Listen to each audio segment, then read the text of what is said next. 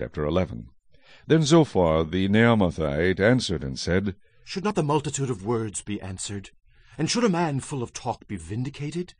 Should your empty talk make men hold their peace? And when you mock, should no one rebuke you? For you have said, My doctrine is pure, and I am clean in your eyes. But oh, that God would speak, and open his lips against you, that he would show you the secrets of wisdom, for they would double your prudence. Know therefore that God exacts from you less than your iniquity deserves.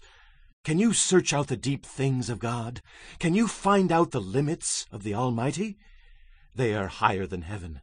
What can you do? Deeper than Sheol. What can you know? Their measure is longer than the earth, and broader than the sea.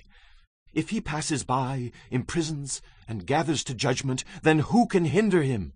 For he knows deceitful men, he sees wickedness also. Will he not then consider it? For an empty-headed man will be wise, when a wild donkey's colt is born a man. If you would prepare your heart, and stretch out your hands toward him, if iniquity were in your hand, and you put it far away, and would not let wickedness dwell in your tents, then surely you could lift up your face without spot.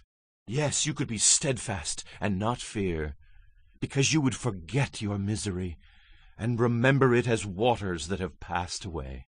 And your life would be brighter than noonday. Though you were dark, you would be like the morning and you would be secure because there is hope. Yes, you would dig around you and take your rest in safety. You would also lie down, and no one would make you afraid.